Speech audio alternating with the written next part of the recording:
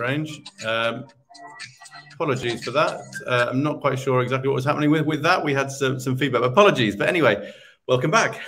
welcome back, everybody, to uh, to this session eight of uh, of this year's this year's conference. Um, so I hope everyone had the chance to uh, to maybe check out some of the uh, showcase sessions uh, that we had during the quick break that we've had there, and there was more of a, more of an opportunity to to also do that later on. Um, so we're moving on in the uh, next session to be looking at uh, what we're saying is new spectrum bands, new technologies, and new approaches. And we have a panel discussion coming up looking at those issues shortly. Before we do that, though, we do have what we're calling a thinking point uh, to, to focus specifically on one area of that. And to tell you more about that and to introduce all of our speakers and our panelists and to, to moderate the session, I'd like to now welcome to the stage uh, Mark Eschenburg from Aetha. Mark, welcome. Great to have you with us again. And uh, yeah, looking forward to it. As I said, we've got the thinking point first of all and then onto the main panel. So uh, yeah, I'll leave it to you to explain more. Perfect. Well, thanks so much, Dan, and uh, good good morning or good afternoon, depending on where you are in the world. Um, it's a pleasure to be at the European 5G Spectrum Conference. Uh, my name is Mark Eschenburg. I work for Aetha Consulting. We're a specialist telecoms consultancy, and so kind of very tuned into the whole topic, and of course, following it with extreme interest. Today's session eight is all about the kind of understanding the future better. And you know, to understand the future, you need, you need to understand the networks, the demand, and also, of course, the services that will be offered over those future networks. And to start off the session, we have um, Guillaume Lebrun from Meta here, who will um, who will himself introduce another colleague who's um, pre-recorded a session as a result of being in a in a very different time zone. So Guillaume, um, it's great to have have Meta on board here to understand more about your your view of the future and the services you look to offer. So uh, I'll hand over the floor to you. Thanks, Mark, and hi everyone. Uh, yeah, apologies that you see me. I know that you all came here for Bruno and not for me.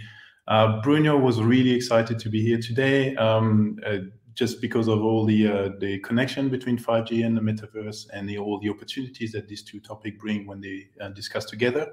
Um, unfortunately, some last-minute events uh, prevented him from being here. However, um, he recorded his, his uh, presentation, so I hope that you still get uh, most of the content. And of course, if you have any question, uh, feel free to ask them, and I'll be uh, I'll do my best to try to respond to them at the end. But without much further ado, um, let's have a look at what uh, Bruno can share with you about the metaverse and 5G.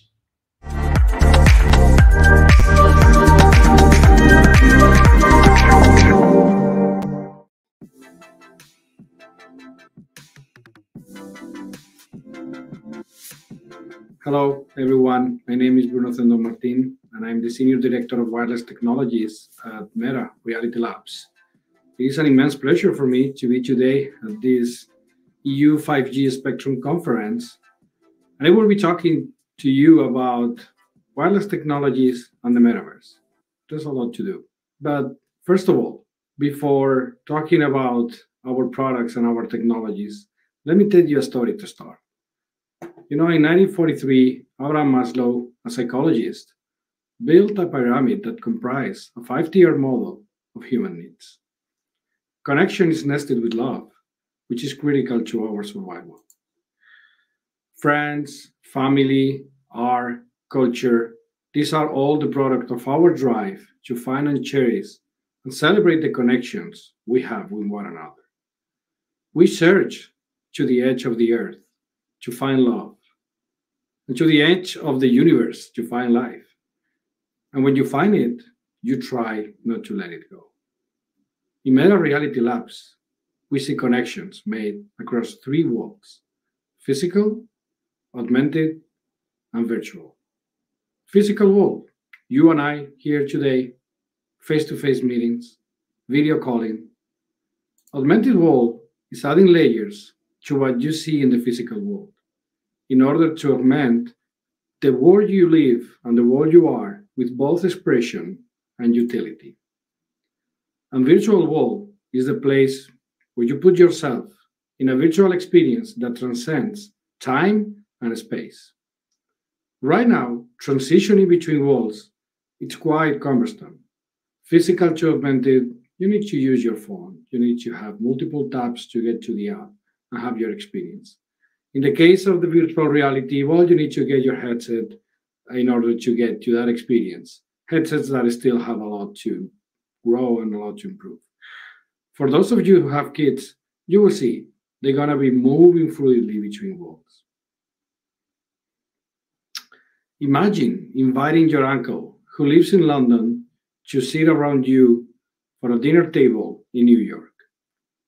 These and things like these are the true promises of augmented reality. What would it take to feel transponded to another place? The tools we are building at Meta across VR and AR have the opportunity to answer this. We see it in video presence with our Portal products, where there is an opportunity to create a platform that enhances presence in the home and in the work. And we also see it in virtual reality with our VR headsets, where we can be transponded to the metaverse and experiment a fully immersive remote presence experience. Let me tell you about our video presence device, Portal. Portal creates that sense of presence. Its unique camera and audio features makes you feel in the same room as the person you are talking with. It gives you the ability to share music, stories, and much more. Fully packed with artificial intelligence, you connect more often and better with the right people at the right time. And it is inclusive. and This allows you to call friends even if they don't have a portal because it's compatible with a lot of applications. And it allows you to use it for work, making your remote presence better than ever. It's been my personal companion day to day while I've been working from home for the last two years because of COVID. Our current generation of Portal has four products on the market, providing an unprecedented video calling experience. If you haven't tried a Portal yet, do yourself a favor and check it out. Portal provides a high quality wireless interface, and our wireless teams are working together with the product teams to keep improving the experience in the future by providing better bandwidth, lower latencies, and improve even more the remote presence feeling by giving highest quality video and many other features. We recently launched Ray-Ban Stories in partnership with Luxottica. Ray-Ban Stories is our first wearable product that allows the user to create video and photo content with unique point of view and enjoy audio listening and calls directly from the glasses. All of it respecting one of the most iconic designs in the industry. This is a product that has a great engineering work behind, delivering on features with a very challenging technology integration. Believe me, getting all the radio antennas with highest performance without affecting the iconic ID, that was challenging. Then we have our current generation of VR. Oculus Quest 2 is the best and most complete standalone VR experience in the market. A number one. In the future, we are going to make some big leaps in both tech and content for the next generations of these products. We are going to build each of these as platforms. So what you build will work across multiple generations of each device. And yes, VR, we are still early. This is what needs to happen for in VR to succeed and to get to the future we all want. The next few years are going to be exciting for the future of VR and VR. And I'm looking forward to see the progress that we are going to make together. You only have to see how we were two, three years ago and what we needed to have a full VR experience.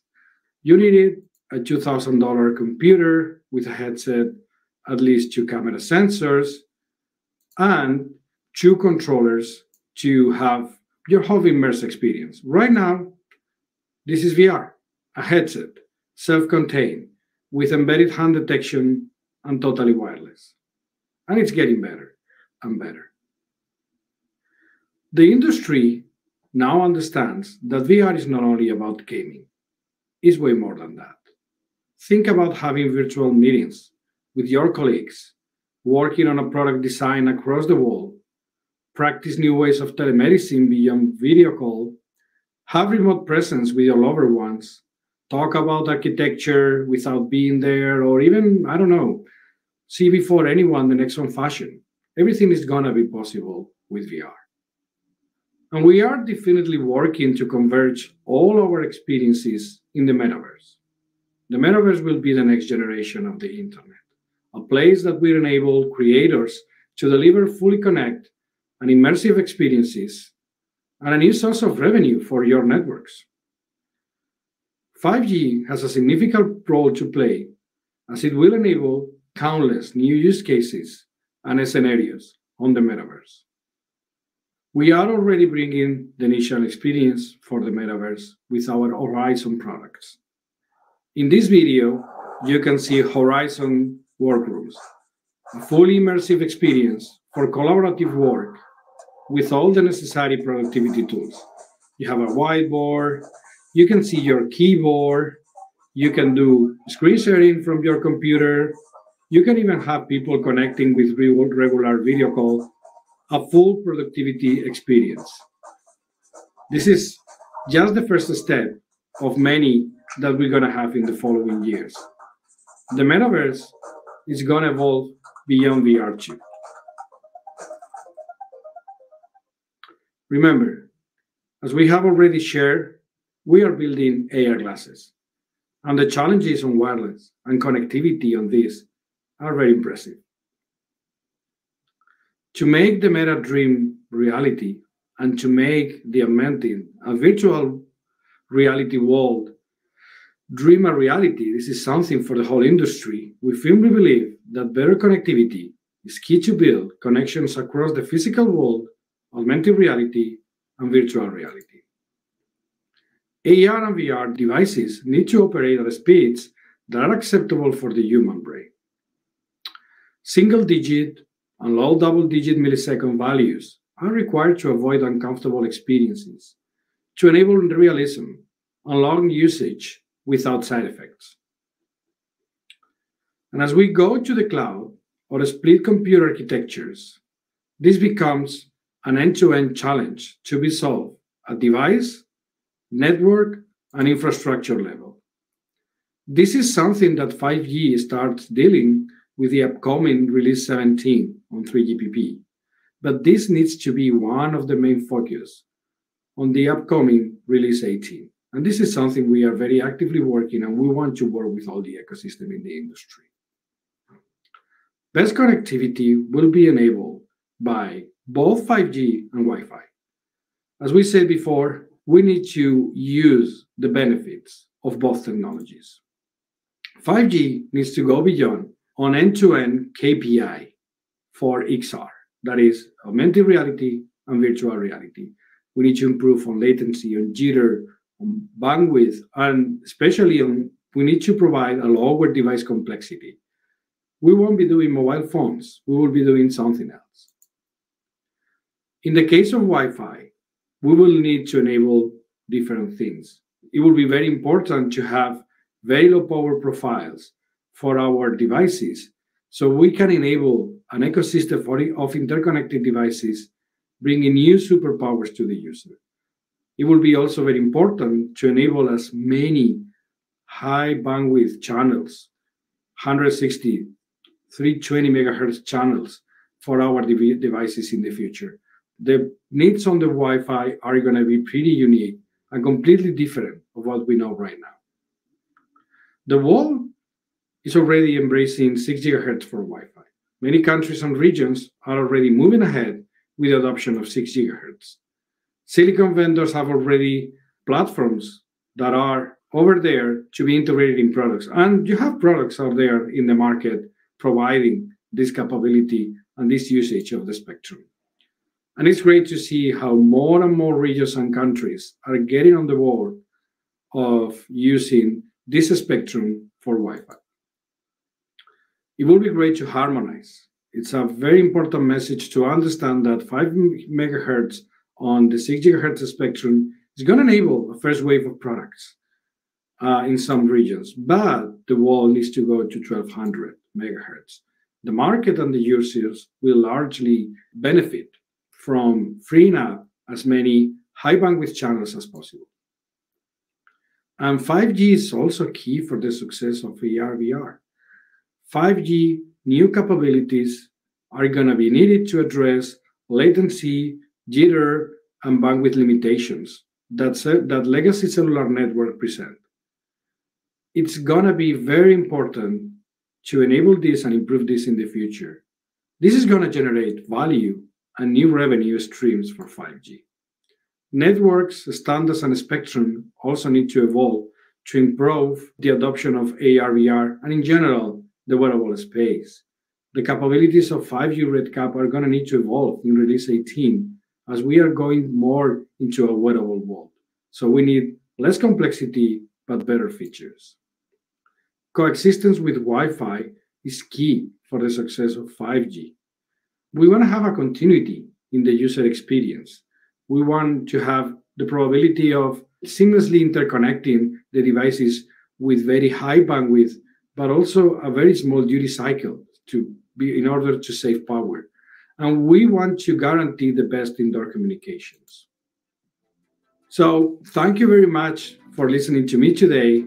It's been a pleasure. And as we say in Meta, this journey is only 1% finished.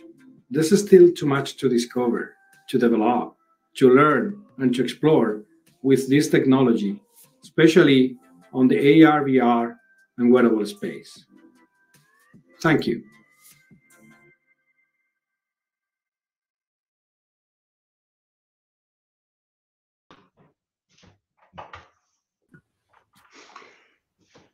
Great. Thank you, um, well, Guillaume in this case. Um, thank you to Bruno as well for a very, very, very insightful presentation. Um, I think it, it gave a good idea of the sort of the first ideas on the on the services that are likely to be used um, in the future. But of course, it, it still raises, of course, um, it shows that there is much more that could be that could come.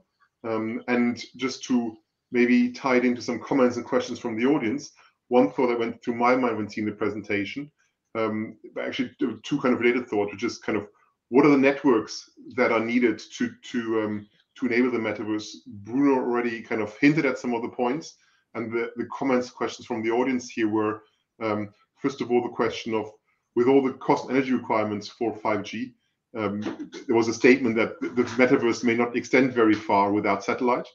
Um, and I guess linked to that as well, the question of is this mostly an indoor um, discussion first, or kind of can we go outdoor with the metaverse, and who would then use the metaverse outdoors, and what's needed for that? It's all the question in one go. Um, yes. Yeah, um, it's it's so you can definitely think of the first use case, especially when you talk about virtual reality as being incredibly important indoor. I mean, and that's where you see things like education, some of the health application. Uh, but I really would not limit it to to indoor. Um, if you think about AR, and that's Bruno's point that we're also developing AR glasses, uh, augmented reality is something that's really going to happen also on the go. Um, it could be a help to a driver of a car and so that the animals are, you know, highlighted or the kids that about to cross the street are highlighted. Um, it could be just when you're in the street, like having the name of a building put on top of it so that uh, you know where you're going. So, um, I mean, 5G is going to have an important role to play, especially about all the use case of the metaverse or the augmented reality of the mixed reality that will be on the go. So I wouldn't oppose it to Notion. Um, the main thing that we see is that we will need um, an increase in the connectivity capabilities. And whichever networks manage to do that, we're going to need them. We already know we need Wi-Fi. That's clear. Um, and, and we need as many channels as we can. Um, because that's how we connect the headsets with um, some of the devices that will compute um, the kind of uh, virtual world. That's how the headset can be light and not use too much battery. So we know we need Wi-Fi, but then what's the technology after that to go to the internet? Um, I'm sure that uh, you know fiber is going to play a role, satellite can play a role in in a rural area. 5G is going to play a role, especially in mobility. Um, so so we're not we we network agnostic. We just know that two things: we need more investment in connectivity, and the service can bring additional revenue. So that's where we see a good potential for collaboration because that can really trigger more demand for connectivity services and 5G services. Yes, I think that that that's I think a very good starting point. It kind of it shows that there's kind of kind of growing from the inside out, so to say. Get it get it to work. Kind of you know you you get it to work indoors, but also you try at the same time um, probably get some probably in the, in the beginning less demanding use cases in, in the on the kind of when you go outdoors and then kind of then as the networks mature kind of move more of, of the things you can maybe experience in a, in a in a fixed environment towards a more mobile environment. Yeah, and the point is that we want to really create a, an enabling platform, but I mean, content creator are the people that are really going to bring new services. What we see is that you have lots of new services, lots of exciting services, things that people are ready to pay for um, that are being developed. And so we should really try to bring the devices and bring the community up to up to the level that they demand, so that we can um, just get these benefits and, and get this additional revenue. Yeah, perfect. I think that, uh, that, that to me that was a that was a very good start to the to the session. Thanks very much, Guillaume, and of course, please extend please extend my thanks to to, to Bruno for this for this great start um, to this to this, to session. Okay, and and following this first thinking point on the metaverse, we're moving straight into the the, main panel discussion in this session. Um, the topic stays very much on the on the question of of the evolving connecting landscape, um, and as I already kind of hinted in the beginning of the session, it's we're trying to understand, kind of take a look to the future and try to understand what is what is like to come in the next few years and what needs to be put in place for services to be able to evolve? What are the spectrum requirements or the infrastructure requirements? And also, again, what is the what is the service perspective? To answer that question, we have a we have a quite a varied panel, um, and we will try to address this top, kind of this topic in a very systematic way. Um, we will start with more of a regulatory perspective. I'm very pleased to have two people, um, two very distinguished people from the European from the European regulatory landscape. First, we have Branimir Stantchev, who is the head of sector for Spectrum for Wireless Broadband at the EC, and we have Alexander Kühn, who is the head of Spectrum um, at BNetzA. Um, both of them will, will give their view on the topic. Um, it will then be followed by by an industry by some industry perspectives. We first have Simon Watts, who is the chair of the standards working group at GSOA. Um, we have Ayman Muhyiddin, who is the um, the chair of the 6G spectrum team at GSA. And last but certainly not least, we have Laureline Hood, who's a government affairs director at Microsoft. So good morning to all of you, or good afternoon to all of you. It's great to have you on the panel. I look forward to, a, to an interesting discussion, and we will start with Branimir to, um, to set the scene from the European Commission's perspective. Thank you. Thank you very much, Mark, and uh, glad to be part of this uh, year's conference on, on 5G developments uh, in the European context. Uh, I would like to present the EU-level uh, perspective on the uh, essential aspects of spectrum policy for the next years, uh, much in the context of our recently announced digital decade strategy. next slide, please. I have prepared one slide which summarizes my introductory points. I'll start with the uh, obvious uh, fact that uh, spectrum policy is traditionally linked to cutting edge technology development and innovation, and it, this makes also our work so exciting. Um, as highlighted in previous sessions already, we are witnessing uh, rapid and disruptive uh, technology changes, uh, which enable a growing variety of wireless services and applications with a direct relation, relation to spectrum demand and spectrum usage. Uh, I could mention, uh, of course, the continuous development of uh, uh towards the next generation technology, and uh, this is uh, obviously um, the case with the move from 5G to 6G, but also for other platforms, the move to Wi-Fi 7 in the Wi-Fi domain the move to high throughput satellites or constellations of small connected satellites. Uh, also to mention 5G broadcast as an enabler uh, possibly for next generation terrestrial broadcasting. Uh, uh with 6G, uh, there are different, uh, let's say, developments like extreme connectivity, network sensing, uh, which generate uh, also huge expectations in terms of spectrum management. Also, cloud native and edge architectures, uh, which support network virtualization and low latency services, um, have uh, their role to play, and of course, artificial intelligence for predictive uh, reconfiguration of uh, the network and also for predictive spectrum management and sharing. Furthermore, we see a steady trend towards uh, hybrid and convergent uh, communication systems, uh, such as terrestrial satellite.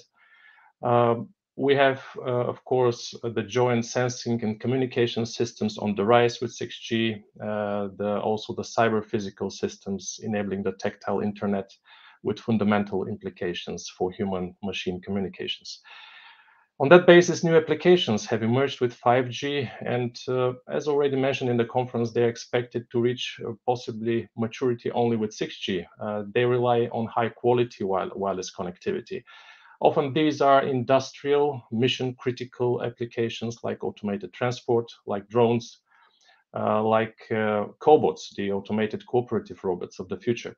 Further examples are obviously extended reality, which Bruno already mentioned in the previous uh, presentation, holographic telepresence, or uh, the applications under the category of the Internet of Senses.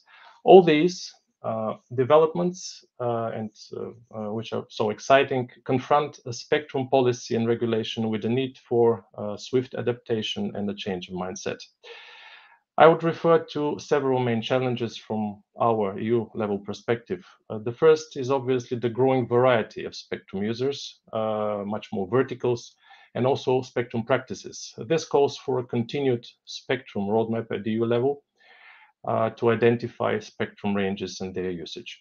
The second is uh, given the growing spectrum scarcity and the dynamic requirements of new applications, shared use, but also more flexible, agile spectrum uh, access, possibly based on artificial intelligence uh, in its management, should become uh, mainstream, should become the norm and ensure a balanced approach to meeting spectrum needs. New bands are being considered for 6G, uh, in particular the terahertz frequencies, including optical, the optical range, where regulators have to carefully assess the needs and timing of their availability. This is linked to ensuring the usual spectrum mix we need with, I think, every generation of uh, mobile and other technology, and a migration path from older to newer generations.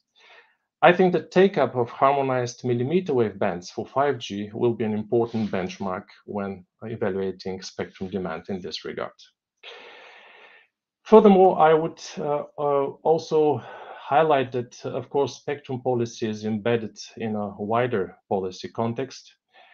I could mention here sustainability, the green policy, uh, autonomy, the, the social cohesion, for example, linked to the bridging of the digital divide, and of course, public safety, uh, for example, studying the uh, and updating the uh, EMF, let's say, conclusions, the, the role of EMF on public health, and of course, uh, ensuring uh, protection of the public from any harmful effects of radiation.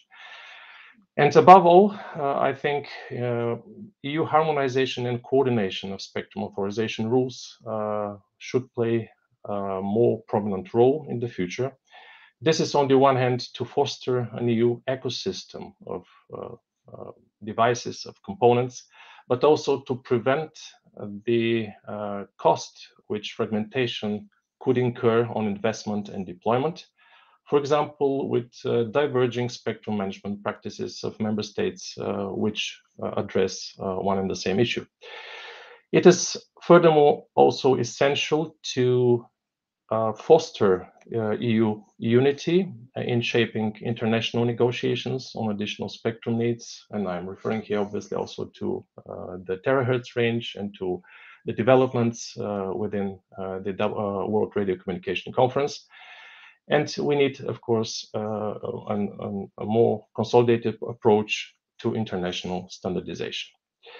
With this, I would uh, stop here and uh, I look forward to the discussion. Thank you very much. Thank you very much, Branimir, for this for this first look from a from a from a European perspective. I think you introduced some very interesting um, thoughts, and I think in particular aspects like whether there, where there is spectrum scarcity, take, looking at the take-up of, of millimeter wave are important considerations to take into account, which we may pick up later in the discussion. So thanks very much for your for your first for your first contribution.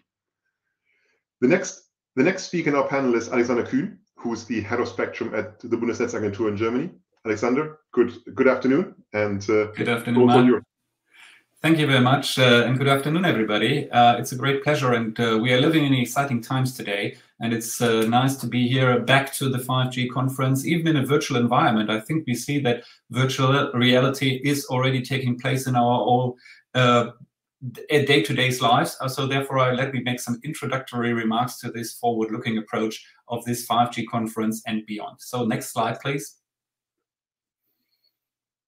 Uh, if you if you look to um, the main question, which was going to this section, is what drives me a little bit, is uh, the question, will the next generation of mobile networks really deliver what 5G was already supposed to do? So we, we discussed a lot of things there that is uh, coming to with the structure of the network itself, which is the encompassing of edge computing, which then allows also to make our cities more smarter, make our day-to-day life more smarter, which may allow also, and Branimir touched uh, base on this particular points as well, autonomous driving.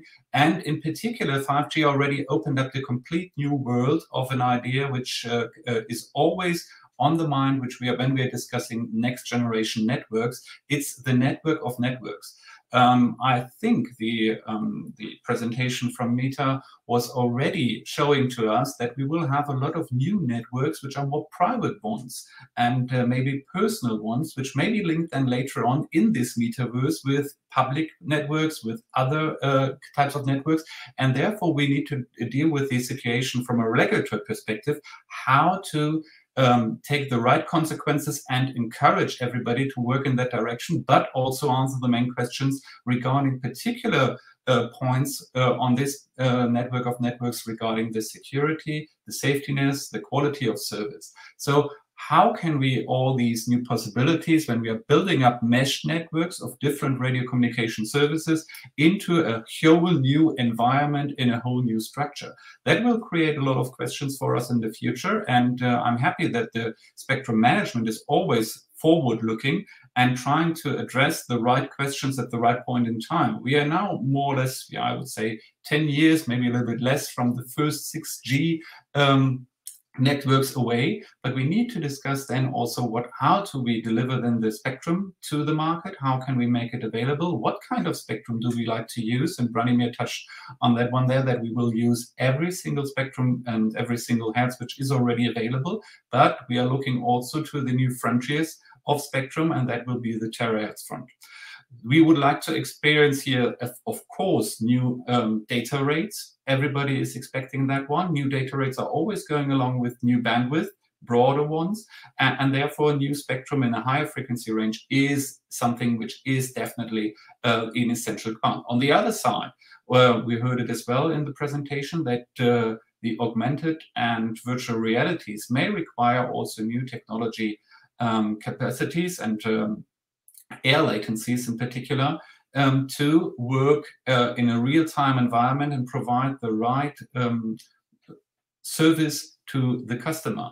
And therefore, we need to make use of artificial intelligence in a much broader scope. Does this allow us to move forward also in spectrum management with regards to the licenses? How could they be more flexible? How could we ensure the quality of service even if those licenses are more flexible? Up to now, we have the maybe separated worlds, I would say, with Wi-Fi, with the public networks, uh, with 5G, but also with satellite networks and IoT networks. So we are we have a very, I would say, boxed system already, which allows then a good quality of service of those different categories of radio services. But with regards to the 6G environment, and already 5G may allow this to a certain degree, this creates the question, do we have to keep this box system or do we have to think ahead of that one? Um, also the question of maybe uh, censoring networks via mobile networks or censoring uh, applications moving into the direction? Do we have to think about a different categorization already at a global scale? And uh, do we have to think about in that way that we have to redistinguish what kind of radio services are we needing? That uh, is a question to media services. That is a question to data services. Is everything now a data service? And how could we enhance and maybe facilitate then the idea of the network of networks? So there are a lot of consequences ahead, which needs to be um, purely evaluated. And the BNetzA is working in that direction already now in order to digest clearly what is necessary for the market, set the right incentives, but also allowing them the right protection of the consumer and all the other market players to provide and uh, facilitate further in, uh, innovation uh, up to 2030 and beyond. Next slide, please. One big part from our side is then, of course, the research. We have, uh, regarding the terahertz frequencies, already very successful test setups in Berlin. We have uh, stable connections already over 100 meters between the um, hein Heinrich Hertz Institute and the University in Berlin. And those frequency bands which have been used there is right in the lower terahertz frequencies between 155 and 175 gigahertz.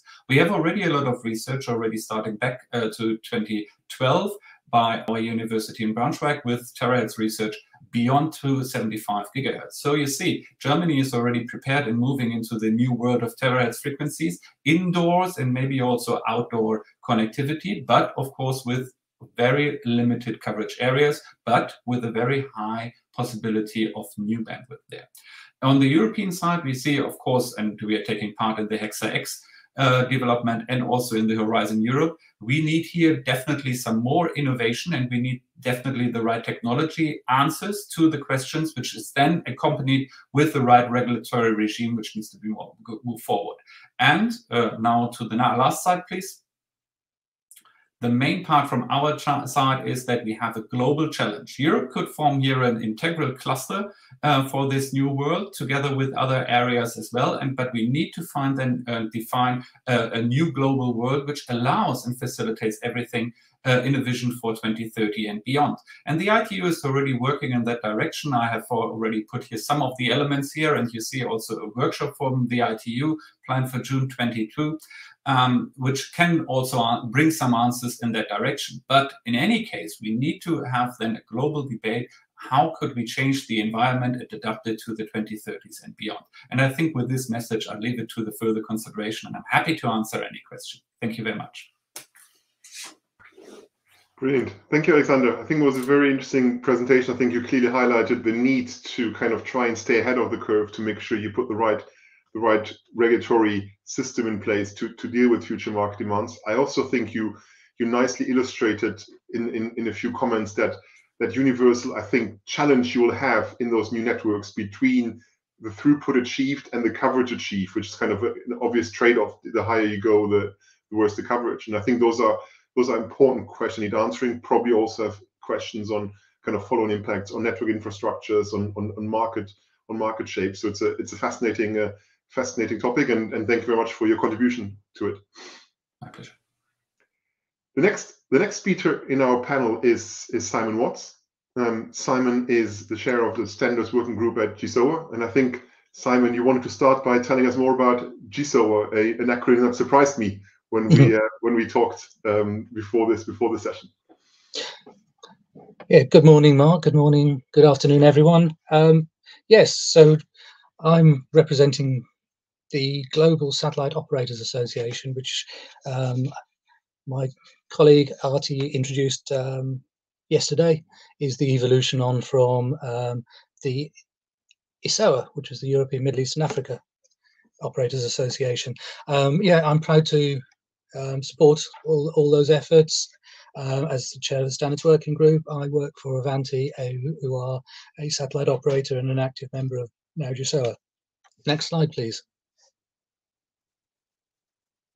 So um, yeah, I want to, to talk about how satellites play a role in the wider community. And traditionally, possibly, there's been the many people have had a perception that satellites are used for communications in isolation.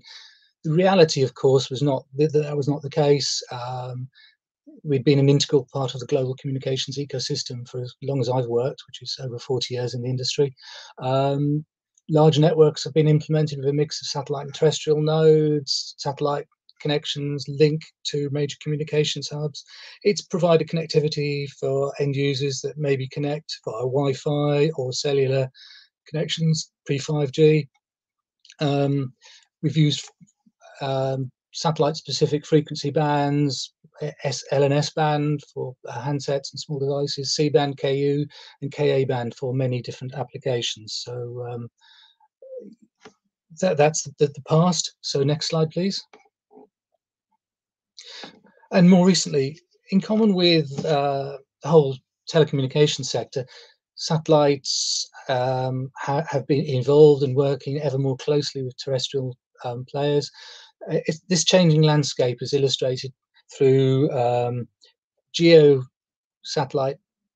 These are these are the station the traditional stationary orbiting satellites. They're many different variations. They're from the very large, very high throughput, terabit per second through the through a spacecraft, to smaller, more highly flexible systems.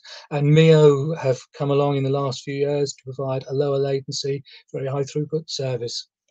LEO constellations, the low, low Earth orbit um, satellites that so often seem to make the new, news.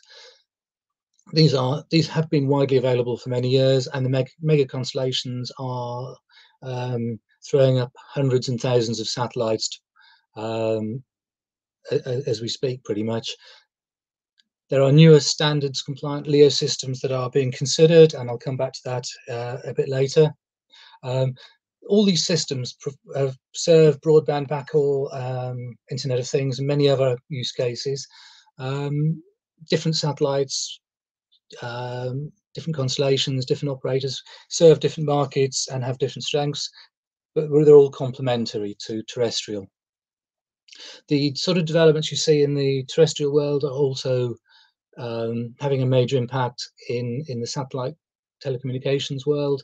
Flat panel antennas, software defined radios, virtualization of everything, um, using and adapting technologies from the terrestrial universe are, are helping significantly. And uh, 5G ecosystem developments in backhaul direct to the user equipment are being pursued. Um, I'll talk a bit about standards later. The, however, in summary, um, the integration of non-terrestrial networks fully into uh, 5G is ongoing work at 3GPP. Uh, in terms of frequency bands, Ka band is, is widely used, QV band high frequency um, band is, is, is increasingly being used. Significant increases in frequency reuse with some of the new satellites to um, better use that and make better use of the spectrum, offer ever greater speeds to the end user. The LNS bands and Ku bands remain important. Um, as we've seen earlier, C band is now being used in for 5G in some countries, the um, 3 4 gigahertz uh, band. Uh, next slide, please. So satellite in the net network uh, networks of tomorrow. Um, this slide has been shown by my colleagues, but the, it, from a, a, networking standpoint, you can have multiple satellites in multiple constellations with multiple operators in multiple orbits, multiple frequency bands, some shared, some dedicated, massive levels of frequency reuse, reuse working in integrating with satellite, with terrestrial networks in, in many different ways and many different use cases um, to provide and include to provide inclusive five and later 5G advanced and 6G services to um, everyone, everywhere, anywhere, anytime. So that's without satellite, you that vision and dream of, inclusivity cannot be met. Um, yeah, next slide, please. So some of the relevant developments from the standards area, um, release 17, which uh, uh, uh, end of end of this first quarter, specifications for 5G new radio over non-terrestrial network and narrowband IoT over non-terrestrial network have been worked on in in the RAN group.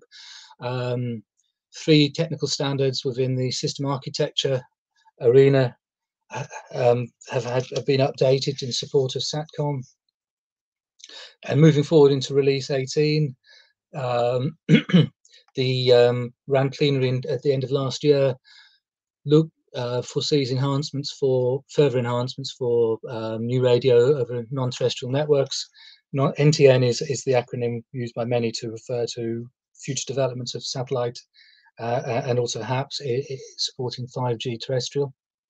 Um, there are also includes providing um, VSAT services. ESIM in this context means Earth Station in Motion. So this means providing an antenna on a vehicle, on a plane, or, or whatever, um, to to act to relay the services to people, to the passengers and and, and, uh, and operators of these vehicles. Um, the harmonized Ka band will be used as the reference for all these studies. um, and it's all part of being a good citizen and, and working together. Um, this is this radio access network analysis is being complemented by the system architecture um, working study groups, um, looking at further work on how, how best to provide uh, satellite backhaul for 5G and later uh, and beyond, um, and also how to best in incorporate non-terrestrial networks within within this. I, I, we chose to include these 5G um, developments in 3GPP, but it has to be complemented by other standards uh, um, for us, such as, um, for example, IETF, uh, TM Forum, ETSI, IEEE, and so on to do this work. So last slide.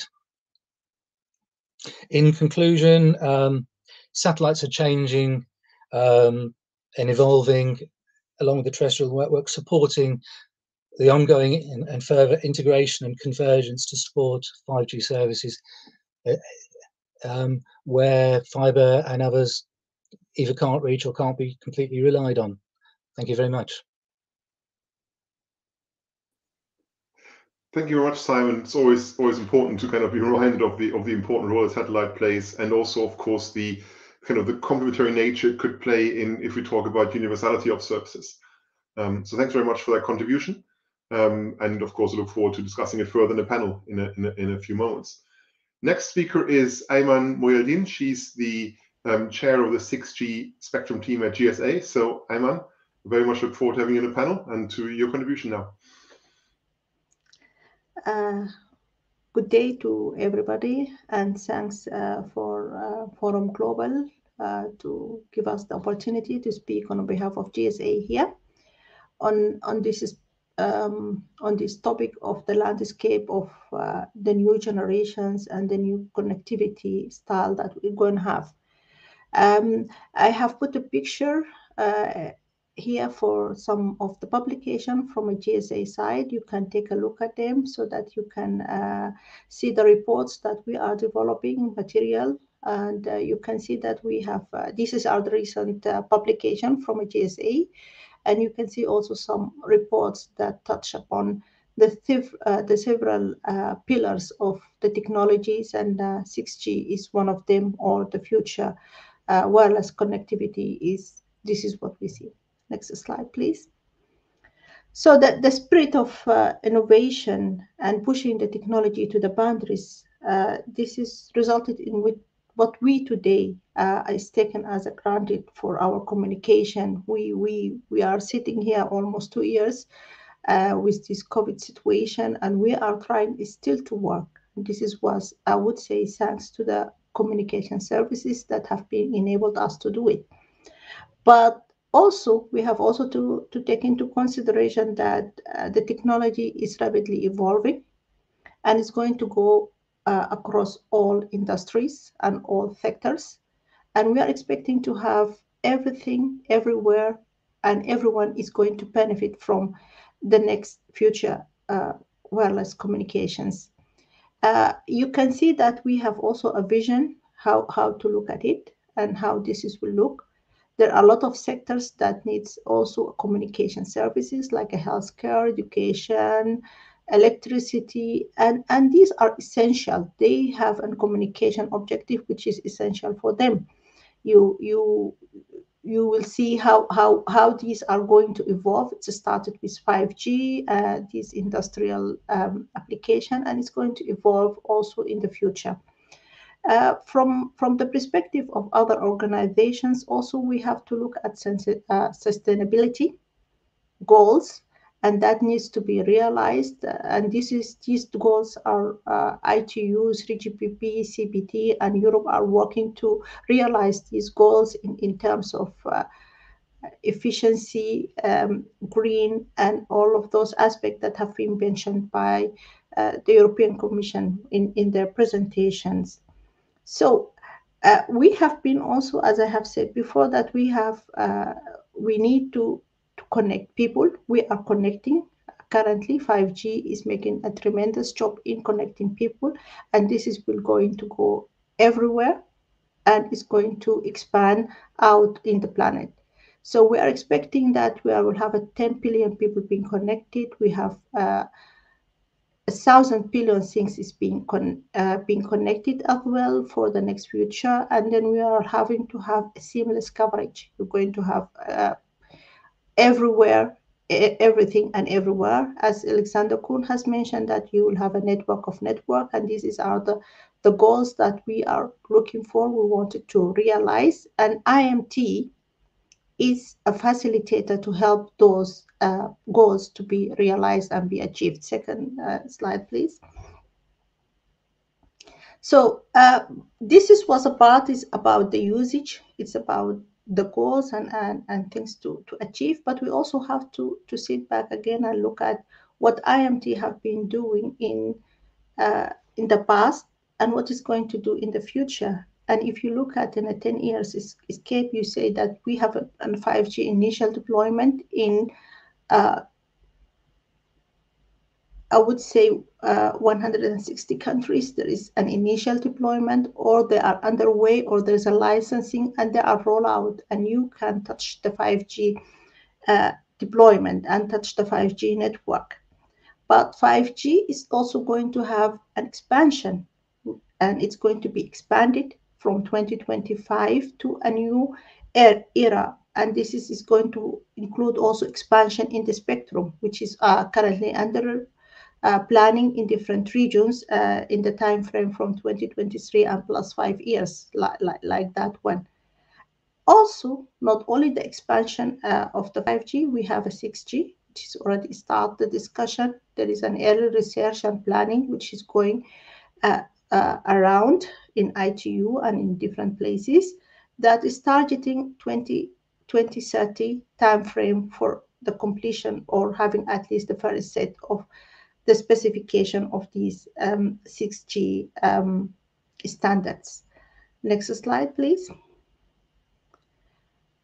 From the research point of view, this is our examples. I'm just presenting you an example around the global for this, uh, the different research who are doing technology research, regulatory research, and they are giving us some ideas how is those usage scenario can be looked at.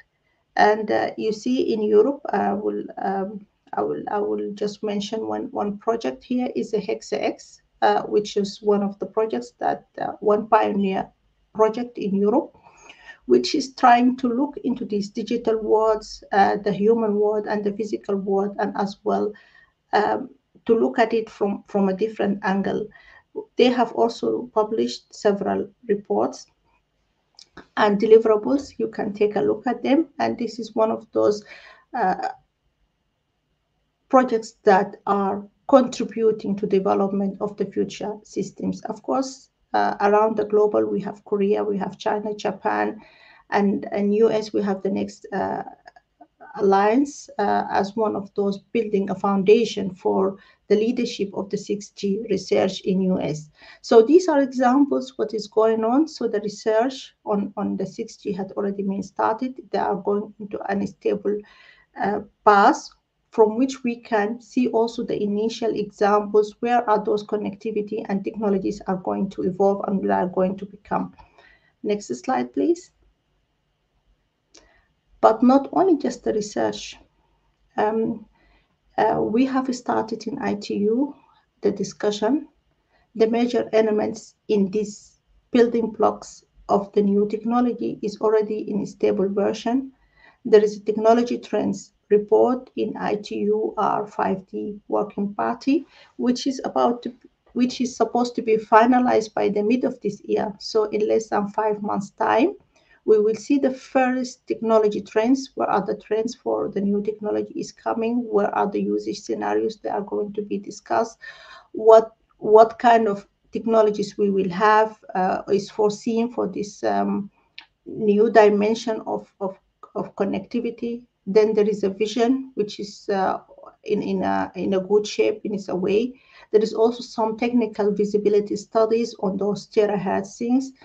And we are also uh, having an idea from the ITUR point of view where uh, where we are going to end up, and we have this finalization in and around 2030. Next slide, please. So these are the things, where is the spectrum here and where is those uh, thinking about the spectrum? These are still um, areas for research and debate. And uh, as you see that, for example, in, in 5G, we have been looking at certain uh, the millimeter wave, and uh, Europe had the pioneer bands around the C band and other bands. Uh, we are also, and, and we have the low bands where we will have a 5G um, implementation around it, but this is going to be expand in the 6G uh, area, and we are going to think about new future spectrum and also a potential WRC agenda item to realize some of those bands around high, mid, and low bands. So we have to think about the spectrum itself, but also also some technologies that enable a real sharing. And this early discussion had already started around the sharing. Also, we have to also to have a debate about the role of non-terrestrial network. So to sum it up, maybe the next slide, please. So to sum it up, uh, for the new for the landscape of the new connectivity, we are uh, thinking from a GSA point of view that the existing bands can be still used in, in all of the ranges. Also, we have to consider what is going to be the outcome of this upcoming WRC 23 in agenda, uh, in particular agenda item 1.2 and 1.5. The 6G research is in a way, we, we see many examples in around the global Sub-terahertz is, uh, let's say, uh, one of the frontier uh, in the high band research, but this is not only just the spectrum where the 6G should be. We have to think about coverage and as well capacity. It remains also crucial to have as well discussion around all the spectrum ranges that could satisfy and fulfill the vision for 6G. We are planning from a GSA to contribute to the agenda items, to the and support the ongoing discussion in ITU uh, and division and the 3GPP standards as well. Next slide, please. So together, let's continue to realize this vision, uh, the IMT 2030 vision, and going into uh, and going beyond 5G and continue the success. And we have seen a lot of successful example of 5G. And let's go, let's continue and take this momentum of successful of 5G to uh, further expand into a new connectivity. Thank you. Great, thanks so much, Ayman, to, for this presentation, especially kind of digging a bit more into the topic of, of 6G, which of course, if you look into the future, you need to talk about. Um, the final speaker in the session is, is Laureline Hood. Laureline is a government affairs director at Microsoft, and it's going to be very interesting after we had a more of a regulatory and maybe kind of technology view to have more of a service view. So Laureline, floor is all yours. I look forward to your contribution. Thank you very much, Mark, um, and thank you all uh, for having me here.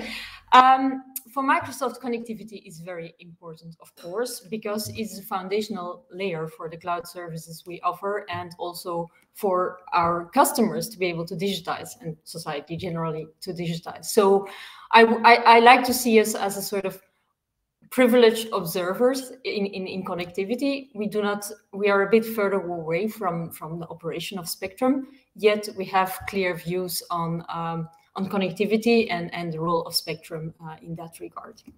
Now, before looking at the future, I'd maybe just um, like to look at the connectivity landscape today. If we, we, we see that it's already um, diversifying very much, it's becoming um, much more varied than it was before. Um, of course, there is a, a, huge role for the traditional telecom and MNOs uh, operators, uh, but even their services with 5G are becoming more hybrid. For for example, with 5G slicing, or we see also the move to edge computing, uh, where traditional telco play a role. But next to traditional uh, MNOs, we see uh, new operators popping up. Think of um, tower companies that be are becoming increasingly customer facing. Think of the 5G private networks that we're seeing rolled out in different industries. Um, and uh, in all of that, we also see a, a larger role for cloud uh, and, and for software generally, I think, whether it's cloud-based or software. Um, that is, for example, what we see in the Open RAN uh, ecosystem.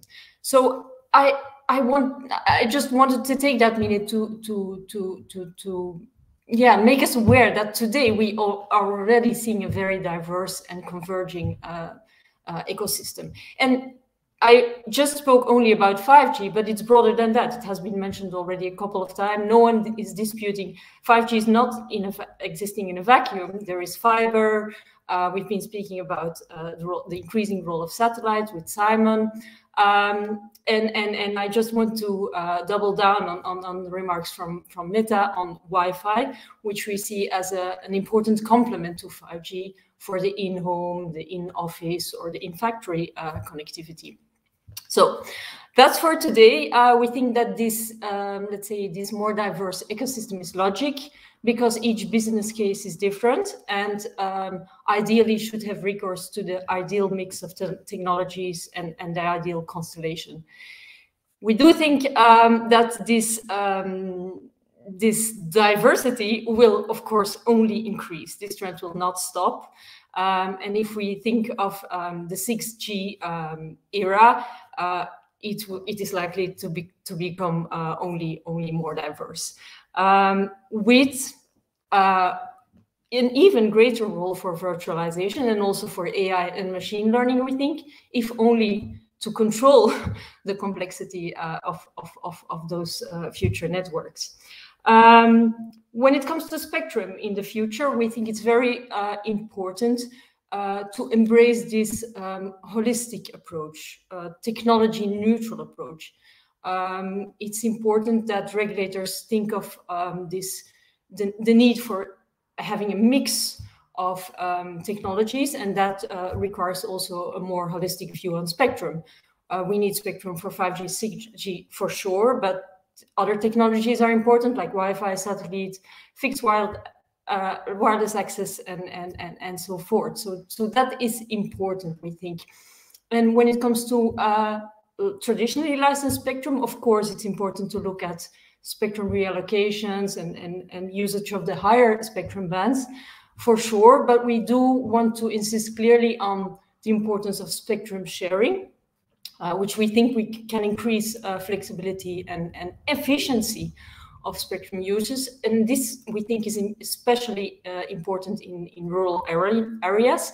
We as Microsoft have a little contribution in that regard with our uh, activities in the TV for white spaces, which are mainly in Africa and in other uh, parts of the world. Um, but beyond spectrum, um, 6G will require um, a more global approach, we think, even than what is the case today. So global standards will remain very, very important, we think, will increase in importance. And standards generally, I think with an even more diverse ecosystem, standards will, will remain very important for trust, privacy, security, maybe even more so than what is the case today. And finally, I think um, there will probably, I think you will agree that there will be no uh, future connectivity if it doesn't um, endorse and embrace the sustainability uh, goals, both sustainable ICT, but also how ICT can help sustainability. Um, so that's for the forward-looking uh, uh, view. Um, then just a, a, last reflection on how we look at the uh, proposal from the European Com Commission on the digital decade path. Um, so that, you know, sets forth ambitions and, and, goals in digital and in connectivity for 2030. Um, we think these goals are good, desirable, uh, they, they are needed. Um, yet, um, if, if you look at the goals, it's it's still a, it looks like a bit of a traditional way of thinking. It's gigabit society, um, gigabit connectivity, 5G. It's still a little bit monolithic, a bit uni unidimensional. We think, especially this this this this.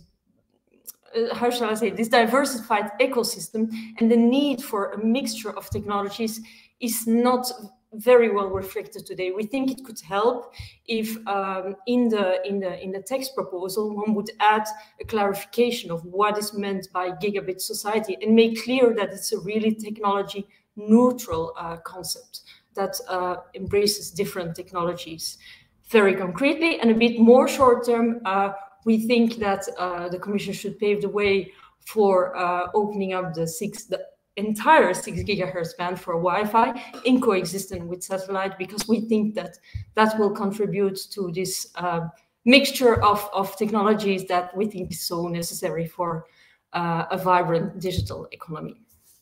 Thank you. Brilliant. Thank you, Laureline, for, for this for this uh, for this point of view. I think there were sim certain similarities when it came to the importance of Wi-Fi and the six gigahertz bands between yourselves and Meta, um, which some of the mobile operators may have a slightly different view on, but that's exactly this maybe the sort of introduction to this discussion. Um, thanks again to all of you for, for, your for your contributions. I think you you highlighted a, a number of challenges, um, and I think in a session like this where you have to look into the future, you always have to deal with with uncertainty. Um, we've we've mentioned a few of the challenges, but maybe kind of um, my my initial question before we kind of jump into in, into questions from from the audience is um, how you know how do you maybe it's more a question for Branimir and Alexander, but others are welcome to, to join in.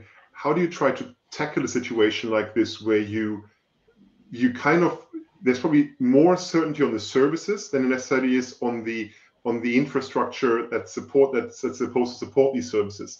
So how do you how do you set up a a regime and maybe not just spectrum but kind of market overall that's sufficiently flexible to allow the market to evolve without kind of without restricting without restricting um, kind of kind of without predefining a market structure. I don't know whether that question is a bit too broad or not, but maybe as a starting point for the discussion, kind of what do we think the future market may look like, or how can we assure that we, we're not too prescriptive on the market and, and stop the kind of evolution?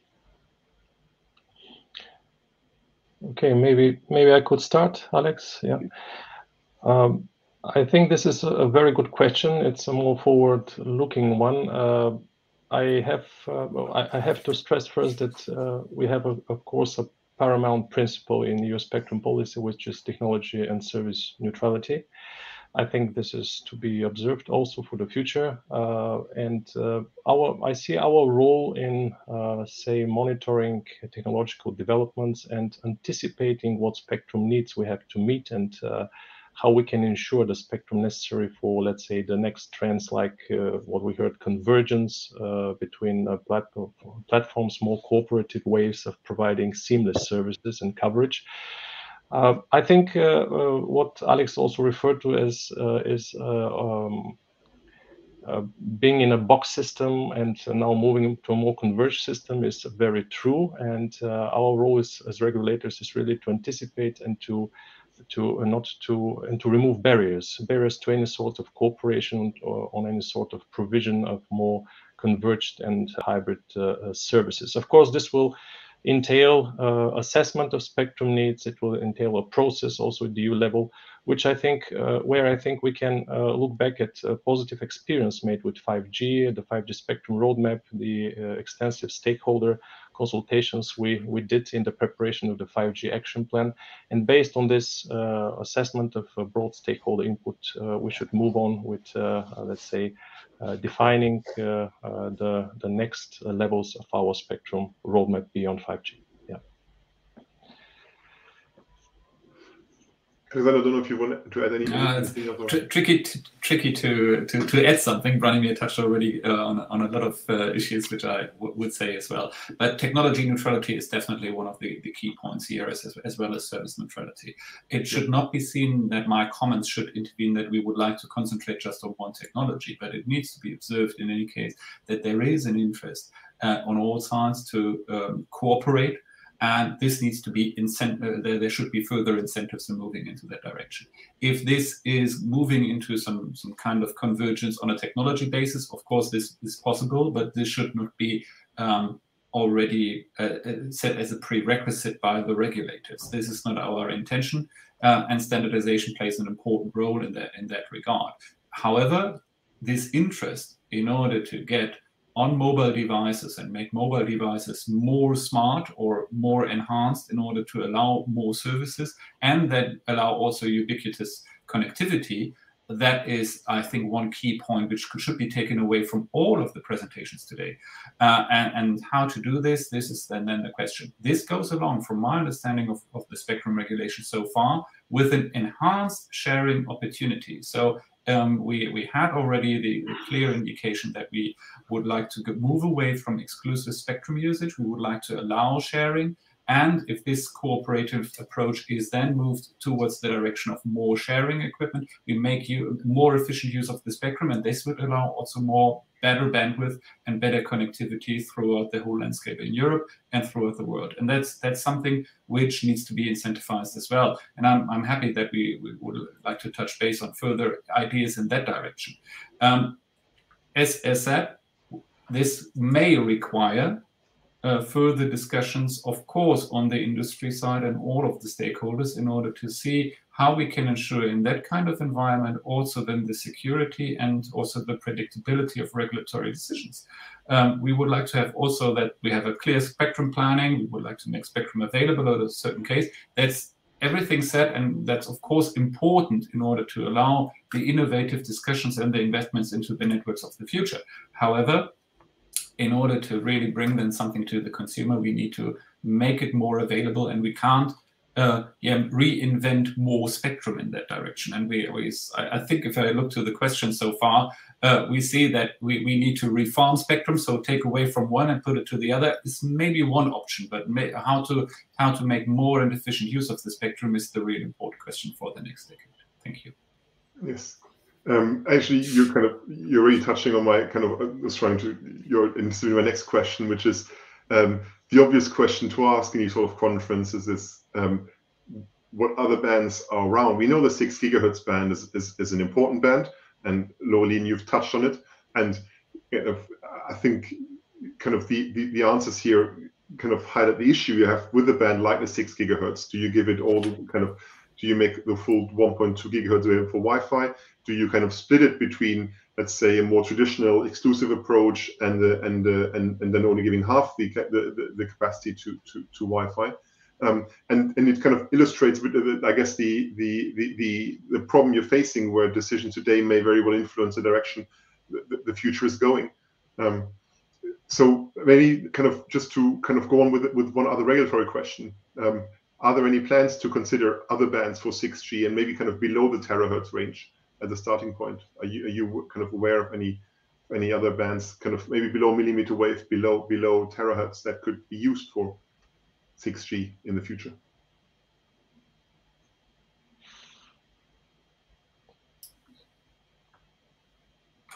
Either Branimir or Alex. I don't know if you. If you have okay, yeah, maybe maybe I start maybe first. this way. This time the other way around. this time the other way around. Um, yeah, we, we, we, we made already um, a huge assumption uh, within the uh, range. Uh, I would say six to twenty-four before, um, and, and, now seven to twenty-four. It's it's rather difficult in order to find uh, the right bandwidth there available, which allows then also um, huge new networks uh, on a on a larger scale.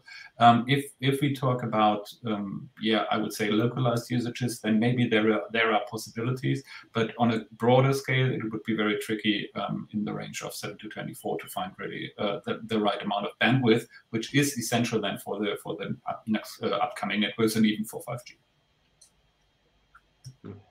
Yes, I can, I can, I can share the view that uh, uh, there is a certain difficulty in finding additional spectrum between 7 and 24 gigahertz. Um, we, as I mentioned in my presentation, we very much look up, uh, look at the take up of millimeter waves. Uh, we have already one harmonized band. We're moving toward towards the harmonization of another one. We have the 60 gigahertz range, uh, which offers plenty of bandwidth for more advanced applications. This is regarding the higher frequency ranges. Uh, in the in the mid band, uh, uh, low band, obviously we have this discussion regarding the six gigahertz band, and of course we're committed to to a, an European approach for the next WRC. Um, I, I have heard also different views regarding the potential use of this band. I can stress regarding this and possibly other bands in the future, in particular in the mid band range, that uh, of course shared use spectrum sharing will be a priority, and at least in, in whatever tasks uh, the Commission could give to the CEPT in agreement with the member states regarding um, potential harmonization of, of, new of new spectrum uh, ranges.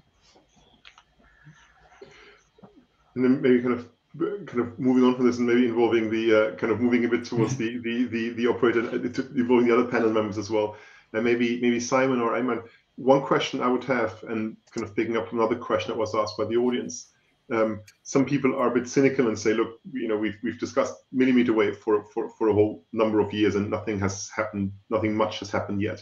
Um, now we're talking terahertz. Is that all a distraction? And should we maybe kind of um, focus our our efforts on, on on some other areas, or do you kind of from a, from an infrastructure level, do you do you see a, a role for terahertz either in the satellite or a, or a mobile? Um, world? Um, so terahertz per se is not is not something that satellites are likely to use from Earth to ground. But if, if we talk about using um, complex constellations, maybe it'll form part of the inter-satellite links. Um, it, but a, I suspect that will probably be optical. So um, from a satellite perspective, I don't think there's a huge in, impact. I think that the graph that uh, presented with the um, distance versus speed, satellite is probably more to the you know, pro providing resilience and content pre-positioning towards the middle of that curve and extending the reach and, and, the, and the reliability to the to the bottom left. Having said that, I think one or two of the applications that might use this capacity will will have significant amounts of content that need to be positioned at the edge. Satellite is very good at sending the same content to many locations simultaneously, so there may be a, a, a support complementary role there for satellites. Beyond that, I, I struggle. Please. Okay, uh, thank you for this question. It's a good and, and, a nice question. I just wanted to take you a little bit back uh, to Europe. I don't recall when exactly in Europe we have a 5G roadmap. We had a very good roadmap, and we have started with uh, uh, painting a picture with taking the 3.6 at the one of the pioneer band and one millimeter wave as one also was uh, the 26 gigahertz as one of those pioneer bands to to be taken into consideration for the realization of the 5G. I don't recall the time. And I think uh, uh, from that point of view is that uh, when we are working towards the future, terahertz as one frontier is now under research for the mobile communication and it's up, and we are studying it. For example, I said that there is a, a, study in ITU-R on the visibility of using those higher frequencies for future wireless system. So we think that this is one of the areas of the spectrum that also could contribute to the success for 6G. But also we don't have to forget other frequencies and other spectrums. And um, like we have also to think about where, where to do it. So I have uh, I have painted a picture which is saying that 6G is not only about capacity, but there should be capacity coverage and other aspects, and a network of networks, as been described by Alexander Kuhn. So so to, to, to, make it it's you can't you can't pin at this point of time a certain kind of frequency range all of them need to be studied explored and, and, and used but uh, definitely sub terahertz is one of the frontier that is also should be taken into consideration thank you Laurie, I don't know if you if, if you, if you want to have anything more to add on this. Um, otherwise, I would um, move on to the to the to another question, which I thought is very very interesting thought, um, which is that maybe I'll start with you, Lauren, on this one. We've talked a lot about kind of quality of service. Meta outlined nicely the various kind of requirements on latency, etc. At the same time, we talk a lot about maybe kind of sharing spectrum, unlicensed use, and kind of a more flexible arrangement towards handing out or licensing frequencies. Now, how do you kind of combine the, the dichotomy of, of strict service requirements and, sorry, unlicensed, unlicensed, and possibly, but let's say wilder use? Is that is that something that can be solved, um, or kind of what do you think could, could, could help kind of solve that issue? Well, I think it will depend very much on the specificities of the business case. First of all, is it out or in? Uh, what what is the stability of service required? Uh, what is the um, the, the, latency required, of course, the costs maybe also. But anyhow, I mean, I think in terms of technical specificities, um, I the name um, escapes me recently, but uh, in Belgium you have this B2B uh, uh, mobile operator, um, which which which which actually is, is um, very active in in having uh, supporting, um, like for example, the the, the seashore um, the seashore uh, windmill parks and with, with, with, with, networks and so on. And I know that they use um, they use obviously 5G connectivity, but they use also Wi-Fi as a backup or as a as, as an extension. Uh, there are so many different use cases, and you cannot just, I believe, um, find a one size fits all, and, and, and it's not always the same requirements that apply, apply in all situations. Yeah. I don't know if anybody has was Branimir, whether you want to add any, anything else on this? Um, yeah, maybe just a few words. Uh, I think we are we are committed uh, in terms of spectrum policy regulation uh, to ensure the necessary conditions for a high quality uh, service, high quality coverage, uh, high capacity, whatever this may mean, depending on the particular service. And uh, as we will have a spectrum mix, I, I, believe also in the future we'll have a, a mix of uh, um, appropriate authorization approaches, be it uh, license exempt or shared or, or even exclusive. And uh, this will be determined to a large uh, extent by the need to uh, ensure for market players the necessary quality of service, which of course entails further social and economic uh, benefits. So, uh, so we are open in that regard, and of course, we should have a very flexible approach, but of course, under the paradigm of ensuring efficient spectrum use.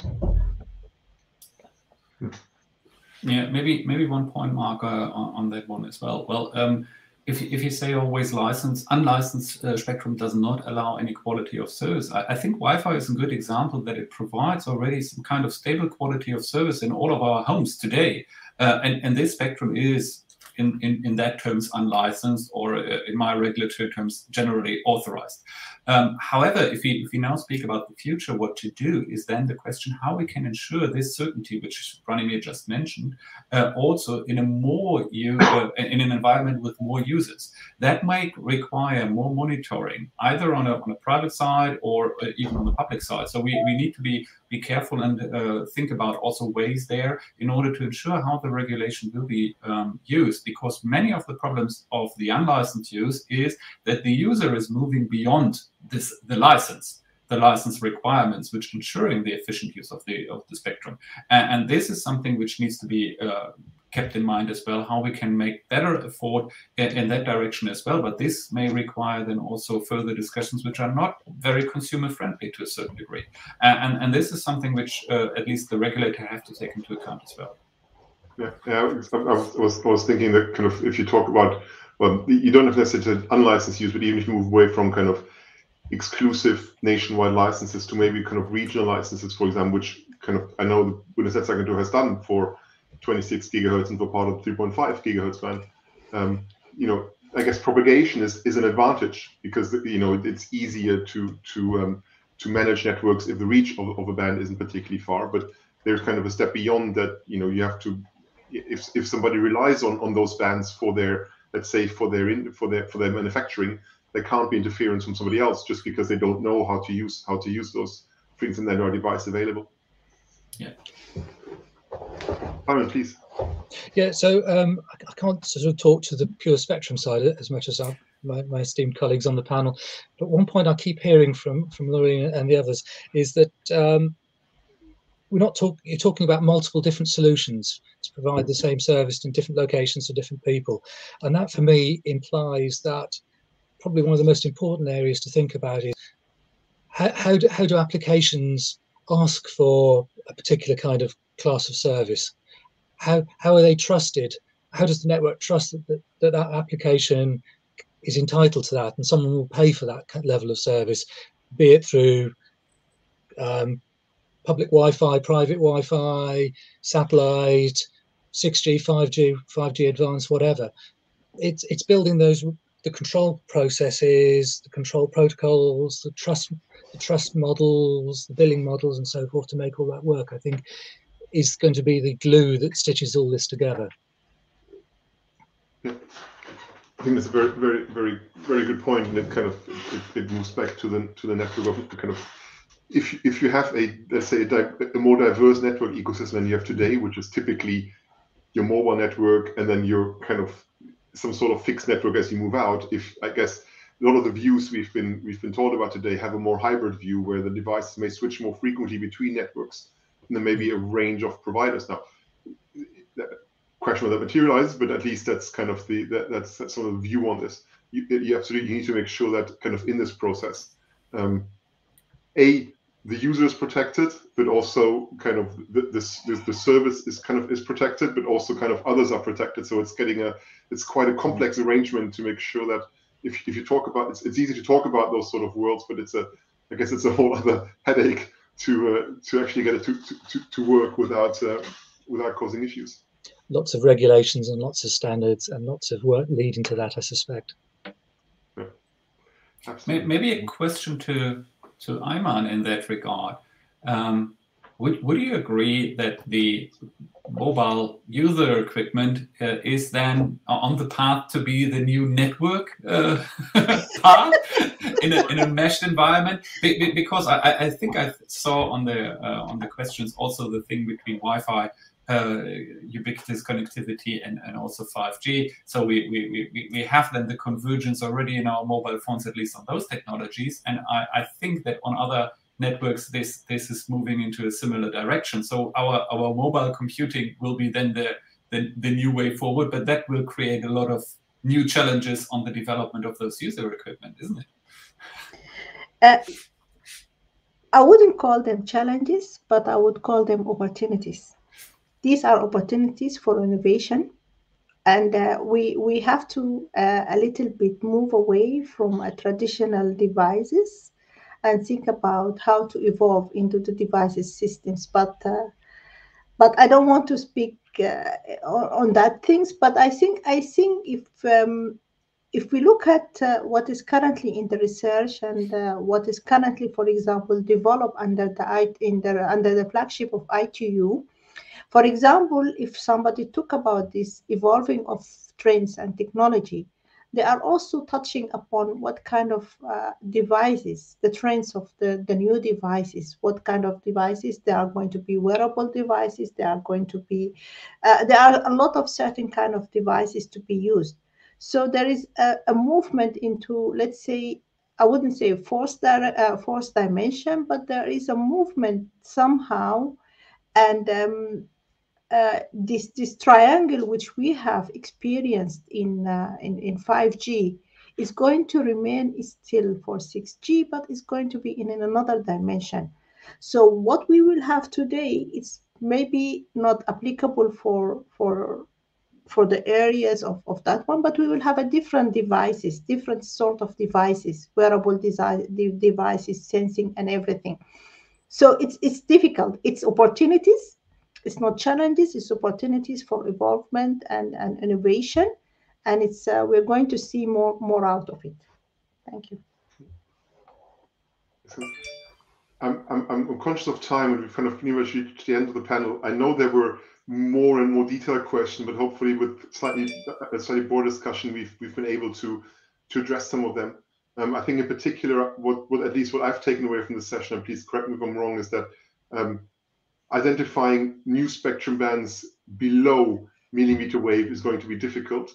Um, there has to be a careful balance has to be struck between between kind of enabling new use cases without stifling um, the existing networks. Um, and I think also there was a question about kind of possibly kind of infringing on other services for the for the sake of, of another G. And my feeling is from the discussion we've had today, there is a there's an awareness that you have to be careful about about just broadly allocating allocated spectrum groups particular service, but you have to kind of take a much wider view in terms of enabling a possibly more converged future with a lot of challenges on maybe even on the device side and of course as we all know on the network side Um, I hope I hope that that that that, that covers um, some of the discussion we've had. I, I, want to thank you all again for for your contributions. I think it's been a very interesting discussion. Future discussions are always difficult because they're a little bit a little bit more abstract than than maybe a uh, a, a, battle about what to do with the UHF band or the six gigahertz band right now. Um, but I think, as, as Alexander, as you quite nicely said, they, they need to be told about today to make sure we're not stuck in 10 years in a situation that we kind of could have moved, out if we thought a bit more about it. So thanks everyone again um, for, mm-hmm. for a great session. I hope it was interesting to the um, to the to the audience as well. Um, and uh, with this, I will hand back to Dan. Thank you, Mark, and uh, yeah, thanks uh, from from my side as well to uh, to all of our panelists for uh, a fascinating discussion, and Mark, uh, to you as well for, uh, for, for moderating that so, so, well as well. So thank you all so much, and of course I should say to to Guillaume and Bruno remotely for joining for the earlier presentations. But really interesting discussion, and uh, I'm sure somewhere there's going to be lots more to uh, to, to follow on. So um, so really interesting. Thank you all so much. Great. Thank you. So um, we're now going to uh, be moving on to uh, another break. So we have now a uh, lunch break. Um, let me bring up the proceedings. Here we go. So we now have a, a, brief lunch break, and then we're back with the last two sessions of the day. So starting at 2.05, um, we have a session looking at uh, delivering digital equality and looking at um, what can be done to meet the targets of 5G connectivity for all by 2030. And then uh, between 3.40 and 4.35, we have our last panel of the day, last panel of the conference, I should say, uh, which is going to be looking at densification and delivering densification um, and looking at kind of rollout of 5G networks in, in urban areas. And then following that, we're going to be wrapping everything up and bringing everything together with our final conclusion session. Um, so we're going to be hearing from some of the speakers on their key thoughts, their key takeaways uh, from the event, your chance as well to give us your final thoughts. And as ever, um, uh, we have the, the live music to finish us off from the Sweet Beats. So uh, something not to be missed there. So that's all still to come. Um, in the meantime, uh, do uh, enjoy enjoy your lunch, and uh, don't forget as well that you do have the option of now going to see the uh, on-demand sessions, the showcase sessions in the on-demand area, which are available for you to watch at your convenience there as well. Thanks all so much, and we'll see you back here in uh, just about 40 minutes or so 45 minutes for the next session. Thank you.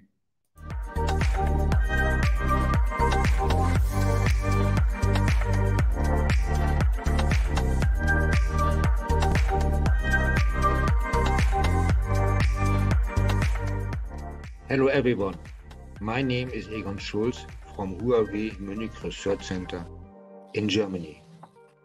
6G is a common vision of our ICT industry future.